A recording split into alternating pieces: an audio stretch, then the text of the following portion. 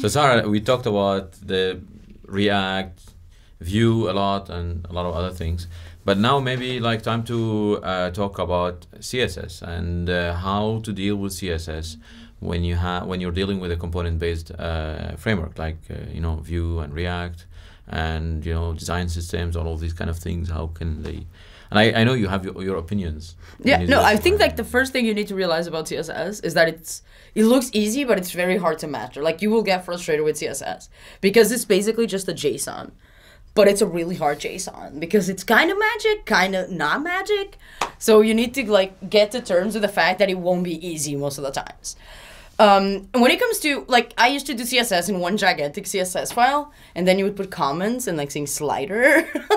like now it's completely changed into a way that, for example, one of the things that Vue does out of the box that comes with Vue is that so you have your template and then you have your script and then your style, for example, that you can order this however you want.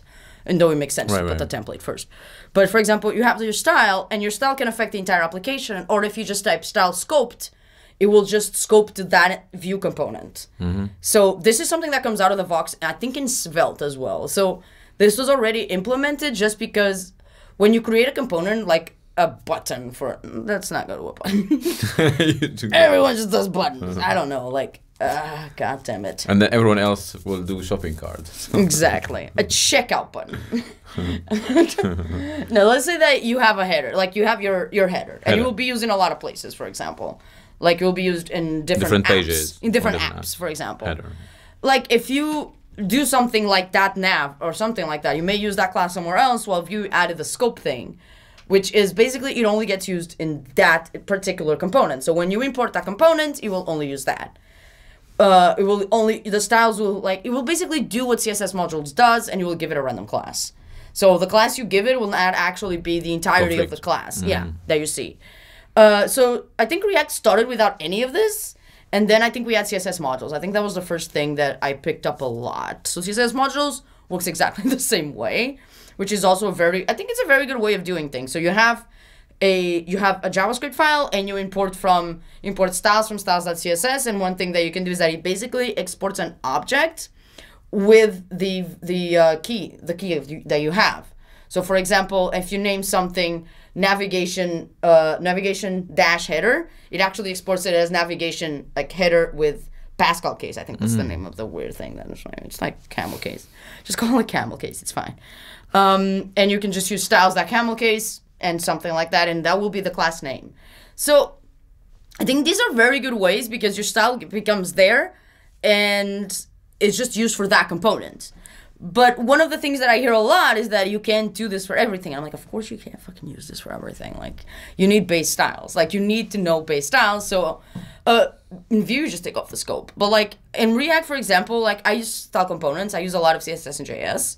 So there is something called create global style. And this will basically, it's a file that you can create. And when you do it, it basically, that CSS is applied to your entire document which is a really nice way because for example in uh, i'm not sure about emotion but i know that in style components this is a component. So you can actually for example only when a modal is open show this component. Because it's a component. So if the modal is open you can just add a thing which is like modal styles and that style will put an overflow hit into the body to fix the weird scrolling that you have. So this gives you a lot of flexibility that sometimes you have to fickle through to actually give a class to the body or to the root. And I think it really, really helps. I think the main reason why I started using style components is because it's a mixture of both worlds that I really like. Like, for example, you can still use dashes, which one of the reasons that I didn't pick up CSS and JS before was because I don't like to write CSS things in Pascal case. I don't know, for some reason it bothers me, like it hurts me inside. I don't know why. But I think that's because I'm kind of old school about that. uh, but you can use that, and you can also use themes. So it's basically a bit of the old time CSS, but with JavaScript functionality. So if you say um, const container equals style.div, inside of that container, you can actually, it works like Sass. So you can actually target anything inside of the container as a div. For example, if you have a ULLI, you can just say container and then ULLI. You don't actually have to create elements for everything, which makes it. I th- I like it a lot because most of the times you just need one or two elements and then you can just tackle the things inside. Which also means that when you pass anything to that component, so any type of prop, like active or not, you can just check inside of the of the CSS, is this active? If it is, show me this. There's no weird syntax of like class names being added because in I think at least in React it looks weird when you try to like toggle class names and stuff. I just think it looks nice. Like it took me a bit of time to get used to saying styles.js. I actually use elements.js for example. But it is I think it's honestly to me it's the best way to write CSS. It's to write it like this. I can't go back. right. But like if you if you take like step back and look at the at the macro level, like you get a design, you get something like you want to implement, right? Like you look at that and then you say, okay, now now it has different things. Now you break it into components, Yeah. right? Uh, uh, and then like. Do you have the same thinking of saying like, okay, these styles are only for that, and these other Yeah. styles are global? How, I mean, Yeah. how, how do you manage that? How, how do you deal with your project when you have something you want to implement? So I think one thing that you can start by doing is that first of all you get all the colors that you have. Usually designers will even give you this and you put it in the theme. You mm. get the fonts that you have and you put it in the theme. And then you always have backgrounds, you always have default styles for A's. You always have to remove the paddings and the margins from ULs, for example. Mm-hmm. And these are all things that are mm, global. It's- yeah. Yeah, so the body padding, the colors, like the basic A colors and stuff like that. And then like the the way that I technic I usually do it is that I make a folder called uh, button, for example, or called I don't know any other things that happen in web development right now. I just keep thinking of buttons, Buttons like drop down, Buttons like, is good, yeah. Button drop down. We're doing a drop down now.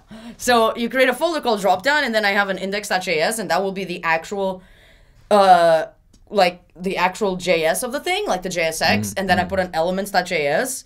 So the good thing about style components, for example, is I do this because I can just go on Chrome and start typing, copy and paste it into a style component. Okay. And also, there's another thing which is uh, there's a CSS prop, both in emotion and style components, that you can say so div CSS, and then you just put the thingies. Six. I don't know the name of the thingies. The weird parentheses. The weird Like, yeah. the thingies. You know The thing is mm. okay. the thing is. We'll put them on the on the. Yeah, the thing is, the new thing is.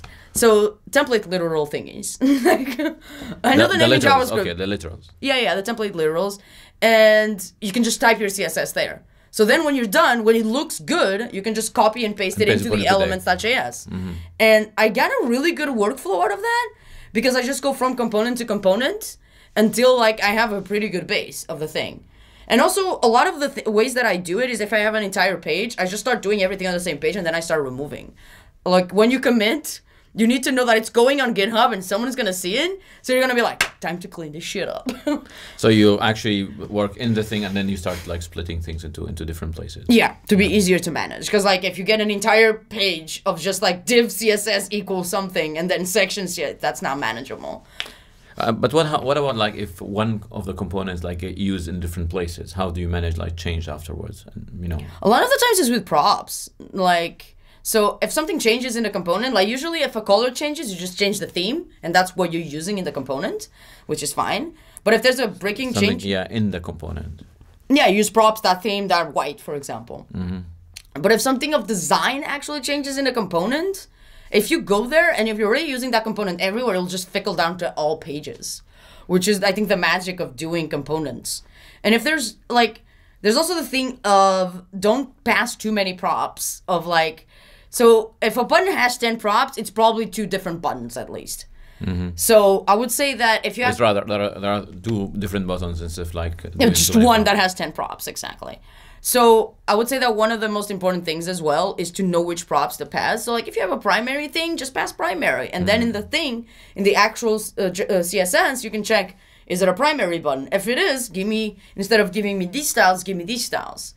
So another thing that you can do, which helps a lot with like non-bloated CSS, is that you can show that just for primary instead of overriding, which is nice. It works pretty well.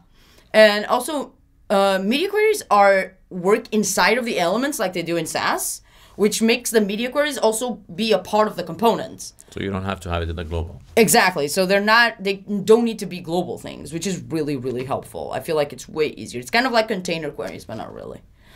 and like, what about like when you actually working with the designer? Does the designer, do the designers think uh, in components, the, like their design? Do they think like, okay, someone is going to implement them in components, so I have to give them like more or less, or like I have to change the way I work? I think they're starting to think a lot more in components.